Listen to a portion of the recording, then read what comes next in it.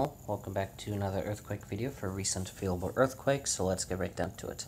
4.9 magnitude earthquake hit 44 kilometers south of Farsan, Iran.